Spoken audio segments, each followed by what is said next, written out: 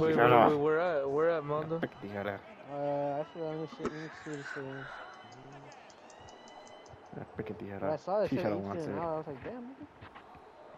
Dude, they gotta be capping our It, it just it just depends what city it's in. You feel me? It's If it's in Santa Ana- Oh, that's why it's that's why it's so Madre. low. Which one? Laguna Niguel. Laguna Niguel, yeah. Fucking three hours. Nigga, three hours to work, bro.